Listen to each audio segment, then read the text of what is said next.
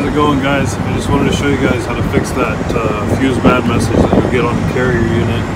This is a uh, carrier, uh, I forgot what the hell the model was, but anyways, um, so what you want to start with is right here. I'm pretty sure they're all the same.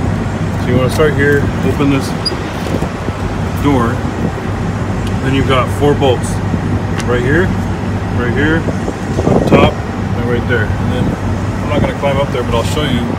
There's going to be caulking along the top, right there. So try not to break that or you know cut it. Uh, try to keep it. Uh, this will open up like this, and it's honestly just that caulking that's holding it in there. Um, and then there's your fuse right there. More than likely, it's going to be your uh, I believe the F11 or the uh, I'm pretty sure the F11 or the F4 is the one that normally goes out, which is going to be you know it'll say on the uh, let me see if I can zoom in. Right there.